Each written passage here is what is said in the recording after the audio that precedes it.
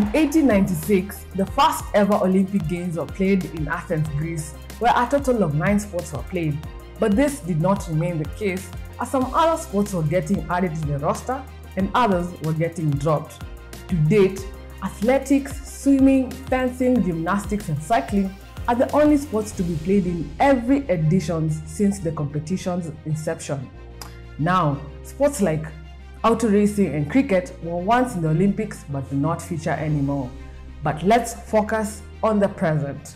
In this year's Olympics in Tokyo, Japan, 33 sports will be played. That's a record high. Surfing, skateboarding, sport climbing, and karate will be making the Olympics debut. Baseball and softball will be making a comeback to the Olympics. I know.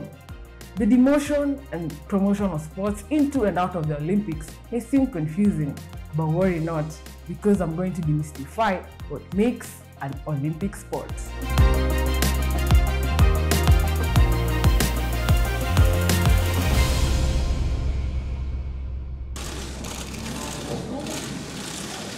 Tokyo.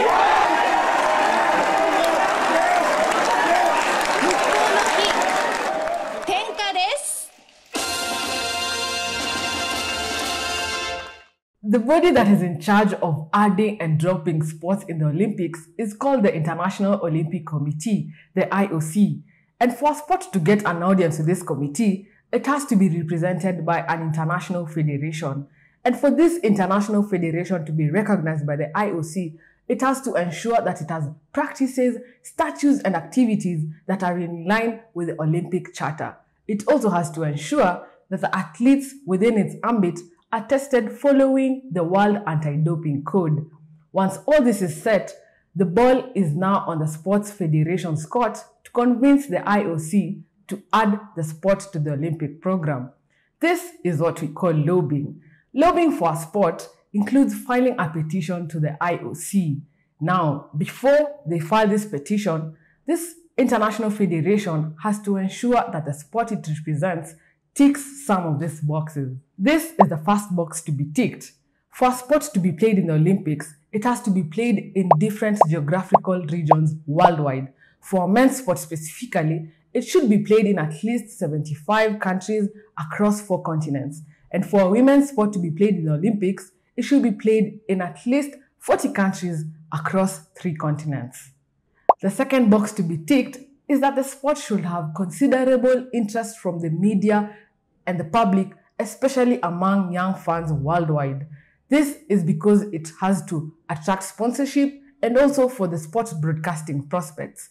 Skateboarding, the new inclusion in this year's Olympics, ticked this particular box because of its appeal to the millennials.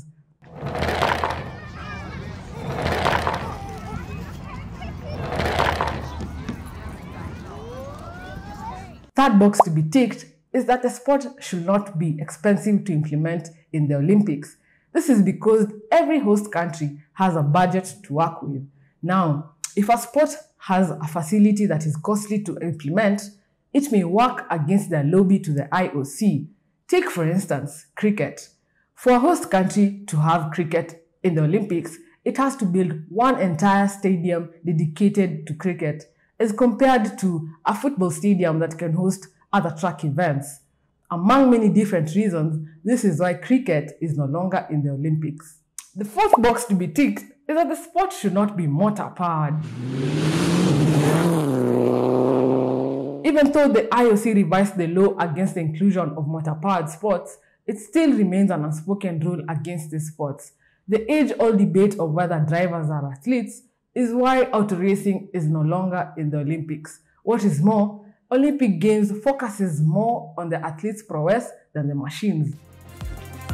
Kenya tuko! Tuko! Kenya tuko! Tuko! Kenya tuko! Tuko! Kenya tuko! Tuko! One, two, three, Kenya! There you have it, folks. If you have been wondering why your favorite childhood sport is not in the Olympics, perhaps you need to check if it ticks all these boxes.